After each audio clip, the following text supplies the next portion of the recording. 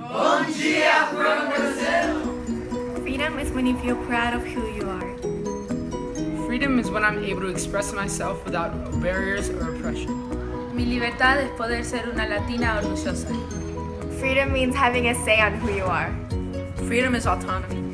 Freedom is the ability to live the life you want to live. Liberdade é poder ser americana e ter uma vida brasileira. Freedom is to inspire and to create my purpose and path in life. Freedom is the ability to choose to be happy. Freedom is to choose where I work and live. What are you doing on March 14th? What are you doing on March